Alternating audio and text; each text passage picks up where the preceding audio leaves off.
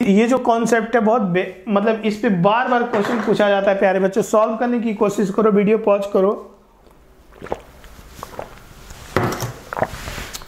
कहता है charge plus Q और minus Q plate point A and B A कहाँ है, देखो।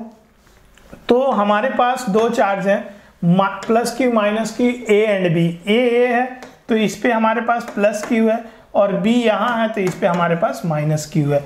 कहता है, अब which are separated distance to L ये जो है टू एल डिस्टेंस पे है ए और बी बराबर है? The work done moving charge plus capital Q यहाँ पर मैंने प्लस कैपिटल क्यू रख दिया। अब मैं उसको घुमाता हूँ। Along the arc semi circle C R D मतलब ए से डी पर ले गए। और आपको पता होगा कि इलेक्ट्रोस्टैटिक में जो वर्क डन है, वो पाथ पे डिपेंड नहीं करता है। तो चाहे सी से डी पर ले जाओ, चाहे किसी भी पाथ से ले जाओ वर्क डन सेम होगा। पाथ इंडिपेंडेंट है। बराबर है। अब इस टाइप के क्वेश्चन कैसे करते हैं हम लोग? बार बार एक क्वेश्चन और एक कॉन्सेप्ट यूज़ होगा इलेक्ट्रोस्टेट में। जो वर्क डन है work done W that is change in potential energy change in potential energy change मतलब क्या? Potential energy final minus potential energy initial. अगर आप इतनी सी बात जानते हो तो ये इस टाइप के जो क्वेश्चन है, वो इलेक्ट्रोस्टेट में कर लोगे। पोटेंशियल एनर्जी इनिशियल निकाल लो पोटेंशियल एनर्जी चार्ज का फाइनल सिचुएशन में निकालो, घटा दो तो ये क्वेश्चन हो जाएगा। तो पोटेंशियल एनर्जी इनिशियली निकालते हैं। इनिशियली चार्ज कहाँ था? सी पर था। सी से जब सी पर था तो ये जो पोटेंशियल एनर्जी अगर इनिशियली मैं लिखूं तो ये चार्ज प्लस क्यू सी पर था। तो सी पे था तो एक चार्ज यहाँ है, एक चार्ज यहाँ है, एक चार्ज यहाँ यहाँ है। यहाँ कोई चार्ज नहीं है यार। तो ये जो ये जो सिस्टम था, वो मुझे कुछ ऐसा दिख रहा था। एक बार मैं आपके लिए बना देता हूँ। ए बी ऐसा कुछ। एक माइनस प्लस क्यू यहाँ है प्लस कैपिटल क्यू यहाँ है, और ये माइनस कैपिटल क्यू यहाँ है।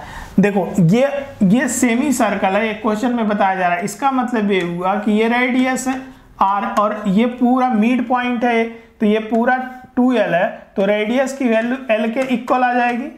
इसका मतलब सी बी और बी डी एल के इक्वल है, बराबर है? तो ये एल आ जाएगा और ये भी एल आ जाएगा। तो ये इनिशियल सिचुएशन है चार्ज का। अब पोटेंशियल एनर्जी कैसे लिखते हैं दो चार्ज के बीच?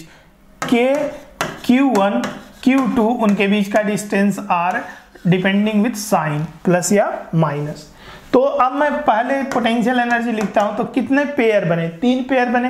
पहला पेयर है प्लस क्यू और प्लस कैपिटल क्यू के बीच। तो वो आ जाएगा K small Q capital Q L बराबर है। दूसरा पेयर बना plus capital Q minus capital Q तो minus K small Q capital Q L बराबर है।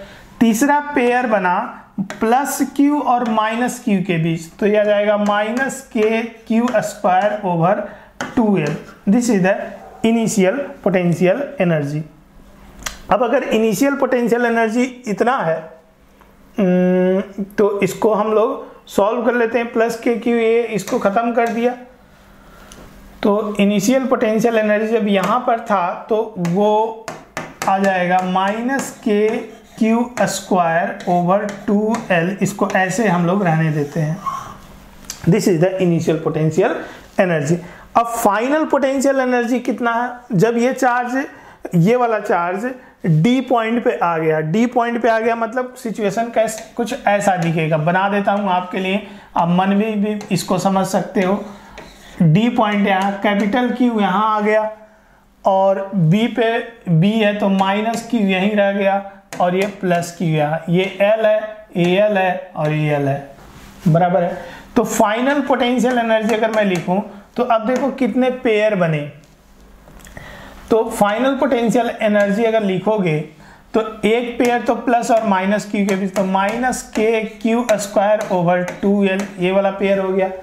एक पेयर इसके बीच बना minus Q capital Q K over L और एक पेयर इन दोनों के बीच बना तो ये plus K small Q capital Q over three L जब भी मैं पोटेंशियल एनर्जी लिखता हूँ तो मैं साइन ज़रूर कंसीडर करूँगा।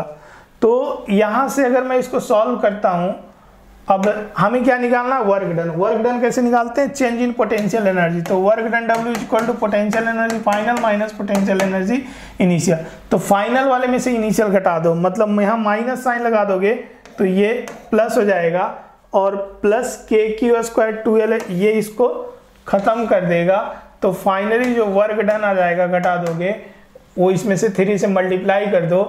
तो थ्री से मल्टीप्लाई करने के बाद minus two K Q capital Q upon three L this is a final solution where K की value one upon four pi F naught तो एक बार एक्चुअली के को खोल लो, कोई दिक्कत वाली बात नहीं है। के की तो वो माइनस टू के की value four pi epsilon naught that is small Q capital Q over three L तो ये टू ने टू को ख़त्म कर दिया मतलब minus Q capital Q is equal to six pi epsilon naught L this is the final solution तो देखो इसमें से कौन सा option minus Q K six pi epsilon naught ये कभी सही नहीं हो सकता।